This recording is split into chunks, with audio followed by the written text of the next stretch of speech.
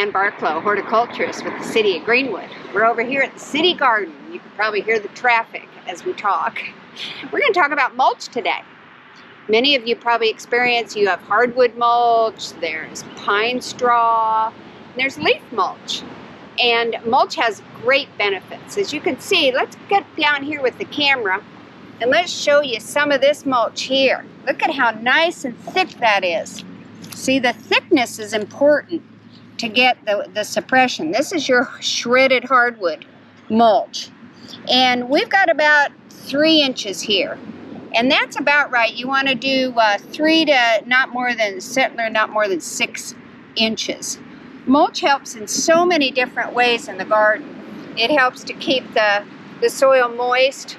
It helps to keep, uh, uh, it, it actually adds nutrients to the soil as it breaks down, which gosh knows we need in this clay soil here.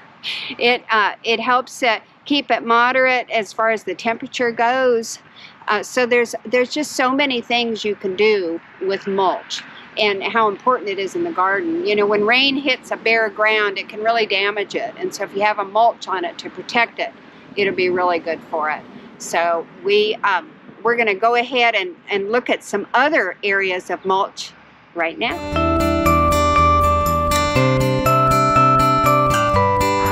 All right, we're continuing on with our mulching. And, you know, gosh, we sure want to suppress weeds as much as we can. This garden is awfully weedy, and so we're going to want to put a lot of mulch down.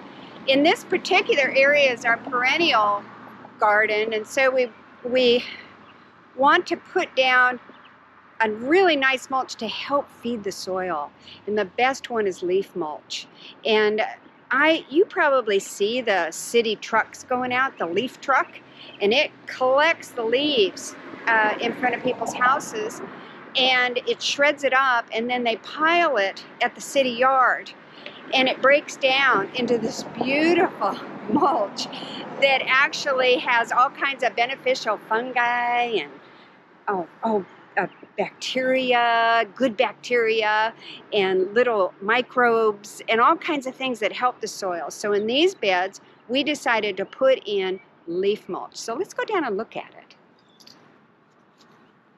And over here, you'll see a nice pile. Oh man, look at that. Look at that. Now you need a microscope to see all the good stuff that's going on in there but we know it's there and it's you can see how well it's broken down. The earthworms love this kind of thing.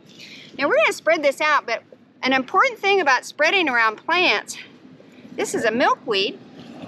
We're going to want to keep it away from the the stem because it can rot. You know I often you know one of my stories I always tell is that down here where the stem connects with the soil, it's like its lungs. So you don't want to smother it. And so, um, so we just keep that a little bit away from there, but the rest of the mulch can go on out. So when we talk about not piling mulch around that, you often think about people, uh, sometimes landscapers that don't really know pile mulch around a tree. They call that volcano mulch, and it's very harmful to the tree. So it's the same sort of theory in these.